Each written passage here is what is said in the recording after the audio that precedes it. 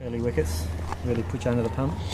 Uh, yeah, it did. Uh, we, we, I mean, we we probably I thought we bowled pretty well at the start, the first 20 overs, and uh, kept them down to a reasonable total. And uh, but they probably showed uh, what wickets in hand can do in their second half, which is what we struggled to do in our first 20 overs. Yeah. What what do you you know what do you take out of it though for the next game? What do you? Oh, listen, we, we, we've had we had a tough week, and um, we just addressed a couple of things in there, and uh, we got two or three tough training sessions that we got to improve a, lot of things um, in all in all three areas. So um, we're going to make sure we do that over the next few days. I think we've got a day off tomorrow, and then straight back into it, and uh, head off to Townsville on Friday uh, to play some positive, good cricket again.